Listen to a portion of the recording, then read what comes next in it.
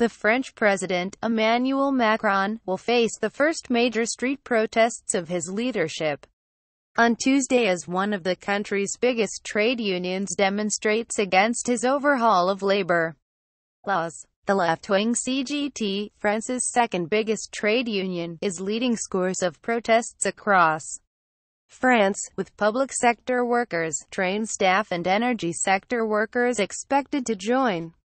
It is the first test of whether opposition to Macron's pro-business plans to loosen labor rules could translate into a broader street protest movement, which the new president is determined to face down. The CGT Secretary General, Philippe Martinez, said more than 180 demonstrations were planned across the country, warning that he sensed very strong discontent.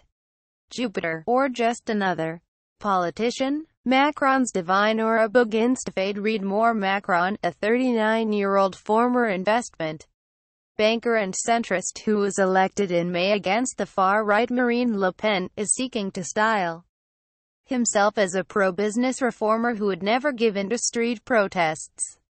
A row broke out this weekend over Macron's strong language after he said in a speech in Athens that he would not yield anything, either to the lazy, the cynics or the extremes.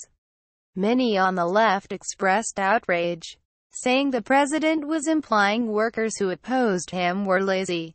Indeed the word lazy is likely to become the rallying slogan of the anti-Macron demonstrations.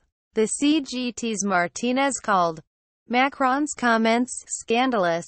Asked on Monday whether he regretted using the word, Macron replied, Absolutely not, saying he had not been referring to workers but to previous French leaders who he said were not brave enough to make sweeping changes in France.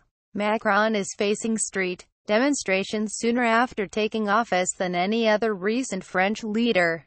This is in part because his labor law changes are the being fast-tracked and pushed through parliament with record speed using executive orders. The laws include a cap on payouts for unfair dismissals and greater freedom for employers to hire and fire. The labor rules will affect all private sector workers in France. However, state sector employees are likely to make up the largest number of CGT demonstrators on Tuesday.